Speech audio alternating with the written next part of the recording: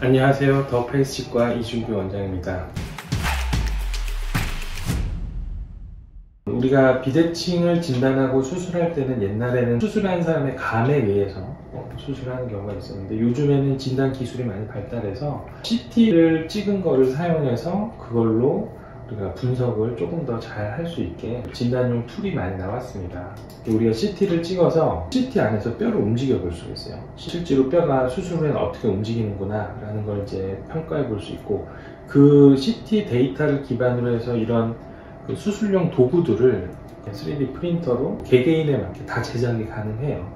수술할 때 쓸 수 있는 틀이나 아니면 수술용 웨이퍼 같은 거를 실제로 이제 3D 프린터하고 제작을 하기도 하고 더 나가서는 이제 우리 수술할 때 쓰는 타이타늄 핀이 있는데 옛날에는 그 핀을 다 일일이 구부려 갖고 환자 뼈에 맞춰서 수술할 때 박고 했는데 CT상에서 모의 수술을 하고 거기에 맞는 플레이트를 이것도 3D 프린터로 제작을 해서 개개인의 수술할 때 맞는 타이타늄 핀을 쓸 수 있습니다.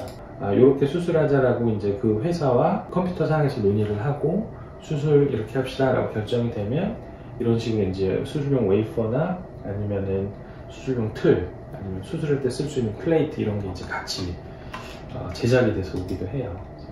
실제로 이런 환자들은 비대칭이 심하죠. 턱이 오른쪽으로 확 넘어가 있는 경우인데 수술 디자인을 컴퓨터 상에서 하는 거예요. 아, 우리가 턱을 이렇게 움직이면 가운데 맞겠구나. 이만큼 움직이면 우리가 뼈의 회복에 좀 문제가 있다. 또는 근육이 안 따라온다. 이런 것들 이제 논의를 해서 턱의 위치를 바꿔주는 컴퓨터 작업을 하고 거기에 맞춰서 프린팅된 제품을 받아서 이런 식으로 이제 수술을 하게 됩니다. 이렇게 이제 한쪽이 틀어졌던 얼굴이 정상적으로 올 수 있게 도움을 주는 방법이 요즘에는 좀 많이 관심을 갖고 하고 있는 분야라고 봅니다. 그래서 다음에 또 다른 영상으로 찾아뵙겠습니다. 감사합니다.